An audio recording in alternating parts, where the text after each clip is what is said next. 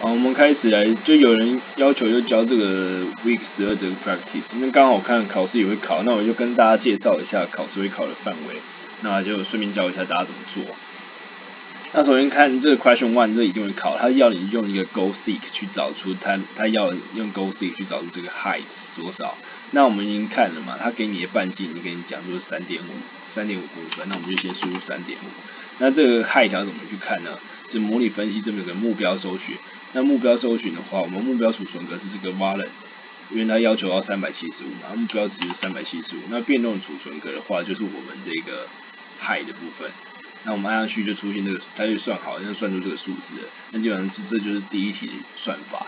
那再来第二题，那考试的时候要求你建一个这样这样的一个 database。那这个 data database database 的话。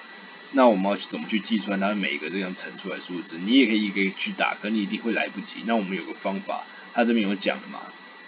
那这边有讲，它叫你用的是一个 data table 的功能。那要怎么用呢？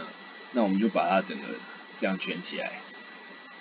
哦，当然这个公式你要先复制起来，这个地方你要贴上就是上面这个，你就注意一下记起来。那我们把它整个圈起来之后，按这边有个模拟分析，那这边有个运算列表。那列变数储存格的话，我们就选择我们这个，因为这个是这个嘛，半径是这个，那我们就选这个。那蓝变数的话，我们就选择这个 height，height 就是刚刚上面这个。按下去之后，它就跑出数字，那基本上就是我们要答案。确认一下是不是，你就对这个三点五跟这个九点五分跟上面很接近，三六五三七五，那基本上这就是一个对的答案。考试的时候就这样做就可以了。那再来考试的时候要考哪一题？三四五我们都跳过，三四五不会考。那我就让大家方便嘛，我我跟大家说，第一我考要做一个 sum 这个 sum product，那 sum product 他告他问什么？他就说，哎，有有不同的几率会有不同的价钱。那他有跟你讲说，这个 actual metal price currently 是这个 zero point eight，那我们就说，我们看这个 actual 是 zero point eight，打上去之后，打上去之后我们要求的是什么呢？求的是这个呃 metal price 这个 estimate，就是说估计值是多少。那我们就看一下怎么做呢？这边要求你用的方法是，就直接套公式嘛，就是 sum product。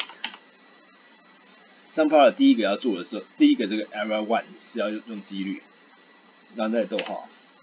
那再来第二个是它的量，这样用去。那我们范例的时候有，就是有还有在除一个东西嘛？范例的时候有除一个东西。那我们这边其实可以可以不用去除。那这个这个是因为因为 范例的时候给你的权重加起来不是一，那我们这边权重给你加起来是一，所以你就要就要你就是把它拿去除以这个权重加成，呃，我们就把它直接除好了，权重的加成出来一样是这答案会是一样，因为权重加起来就是一，那这边就可以算出来你的 metal price estimate，那基本上就是考试会考了三题，那差不多是这样。啊，有问题的话可以再继续问我。那明天考试的话会四点半开始。